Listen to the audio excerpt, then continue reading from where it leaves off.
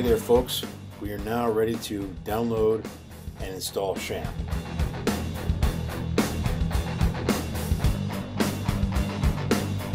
Before we do that however, we are going to need to install a text editor. Now your Mac probably came with some basic text editor.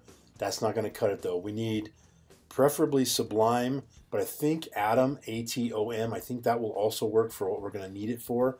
Basically, in a, in a few minutes, once we've installed XAMPP, we're going to need to edit one of the configuration files, and a plain text editor will not let you do it. It has permission issues and it won't let you do it. But Sublime Text will allow it. I know that for sure, and I think Atom will also let you do it for sure.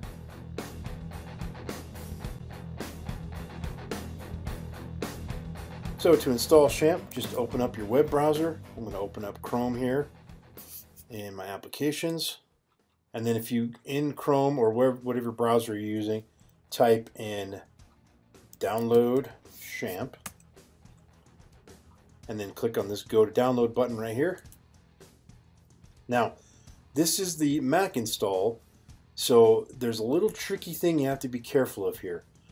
So if you scroll down, Notice you'll see that there are two sets here. There's a 72.26 and there's another 72.26. There's a 7313, 7313, 741, 741.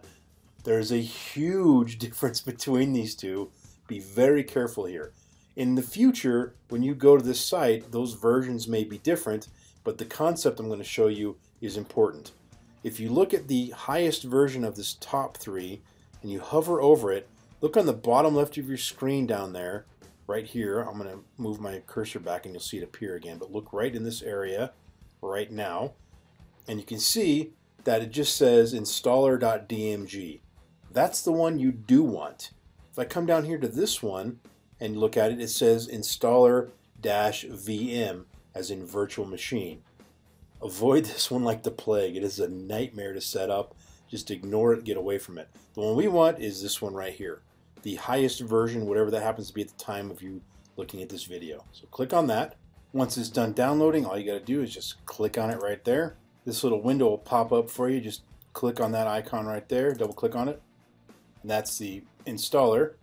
And it's going to say, are you sure you want to open this from the internet? Yeah, the answer is yes, open it. And now everything along the way with installing XAMPP, it's going to ask you for your password like a dozen times. That's just part of the deal and it's the password that you use to log into your Mac. So I'm going to go ahead and do mine real quick. Once you've entered your password, just go ahead and close the this little thing right here and go ahead and close your browser down and close anything you got in the background just to get the distractions out of the way and just start nexting your way through this. And just the defaults are going to be fine, next. And this tells you it's going to install it in the applications section of, of your system, click next, and then click next and leave that checked. And now it's going to open up a web page that tells you about Bitnami. Just close that, click next, and let that install. It'll take a minute. Once it's done, which will take a few minutes, go ahead and click finish. Go ahead and close this web browser in the background here. And this is what we are interested in. This is our control panel right here. First thing we need to do is manage the servers. We click on that tab and we want to make sure that both Apache and MySQL are running.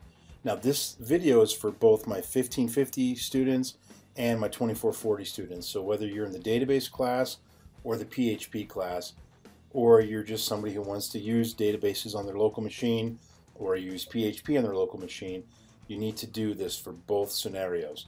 So make sure Apache is green and, and then MySQL, you just click on it and click the start button right here and that will activate the database there.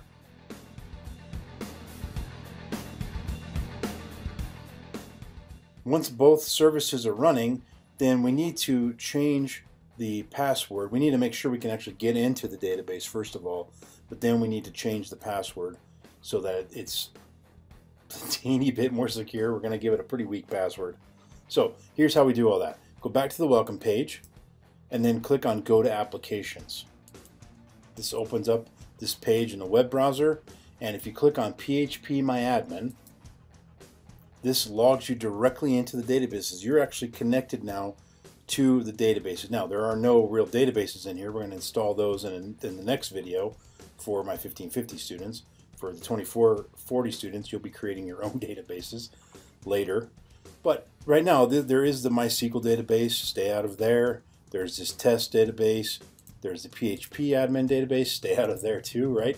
What we're going to do is change the password that allows us to connect eh, to our database. So click on user accounts right here. Then go down to the very bottom one that says root localhost. Not PMA localhost, but root localhost right here at the bottom. All the way over here and put edit privileges. Then go up to change password. And right here, you're going to put a new password in. Now, I want you to use a specific password. This is only on your local machine.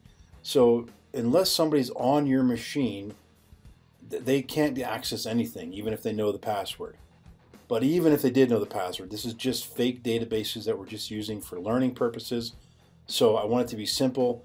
It helps me with troubleshooting later in the semester when people run into snags. I don't have to worry about what are people's passwords. They're all the same.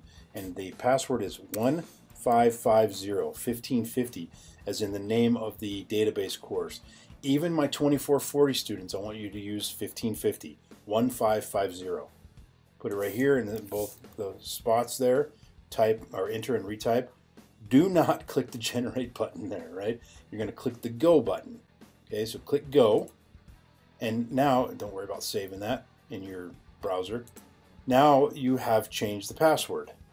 Once it's changed, if you actually refresh the page, you're going to get an error, which is the expected behavior because you are now trying to get into the database that requires a password and your configuration file doesn't have a password in it.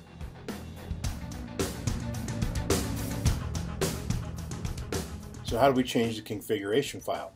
Well, this is where having that text editor comes in handy that I was telling you about earlier. So let's go ahead and close the browser window here and then go to Finder and open up Sublime Text or Notepad++ or Atom or whatever you got. Here we go, Sublime Text. I'm just going to open that. Not going to worry about downloading anything there.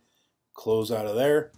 And the next thing I want to do, let's just get XAMPP out of the way for a minute and we need to go into our Finder applications, which is what we were told where XAMPP would be installed. And then scroll down to the XAMPP folder, double click on it. Then go to XAMPP Files, go to PHP MyAdmin, and then we're looking for this file right here called config.inc.php. Drag that right into Sublime Text. Now you, you can see the file, and we're going to edit it. If you scroll down, right here on line 31, it may be slightly different on yours, there's this thing that says CFG servers I password equals. Right there, put that password, 1550. Save it, and when you do, it's going to ask you for your password, which when you try to do this with a regular text editor, it won't even let you do it. You get end up getting errors and all kinds of weird stuff. So close that out now, close this out, and we're going to go back to our control panel and go to manage servers and now we're going to restart the services. Now you can restart them one at a time here or you can do restart all. If you choose restart all it's going to start up this pro FTP. That is not necessary so you can do that just because it's a one click thing it'll be faster and you'll have the service running that you don't need or we can just do them one at a time so I'm going to do restart on here and then restart on here and once they're done, both of them turn green again. Then we're going to try to log back into the PHP MyAdmin.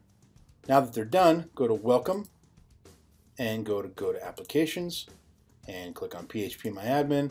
And now we're back in the database. So that's it. You're connected to the database, both 1550 and 2440. You're all set as far as that goes. 1550 students, you still need to install the actual databases we use for class 24 or 2440 students, you don't need to do that, but you do need to set up your PHP portion of things. So the next video will be the one for the database class will be all about setting up the databases, and then the one for the PHP class will be about setting up the PHP. I'll see you guys there.